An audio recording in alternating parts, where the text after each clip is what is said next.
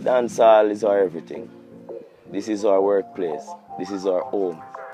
Dancehall is a culture. Dancehall is a movement. We all can achieve the same if we work together. Simple. Dancehall is an enjoyment. Dancehall is joy. Dancehall is happiness. Dancehall is all about grooving and entertaining yourself and entertain people and make you feel happy. You understand what I say? All I want to see is just unity in the dance hall.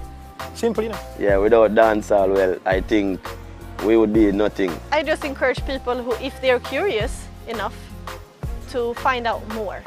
Because when, always when you find out more about cultures and about other people, you will get more understanding. Dancehall is freedom.